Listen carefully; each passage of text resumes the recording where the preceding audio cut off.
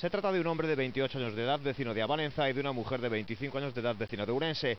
En esta fase, que constituye la cuarta y que todavía no da por cerrada la operación, los agentes incautaron de 40 gramos de cocaína, 1.500 euros en efectivo, varios teléfonos móviles y un vehículo de gama alta.